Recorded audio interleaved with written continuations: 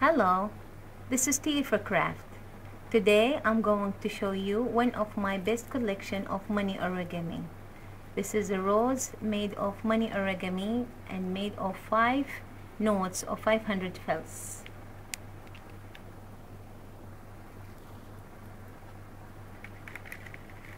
This is another kind of money origami rose. This is a closed one and it will cost you two notes of 500 fils.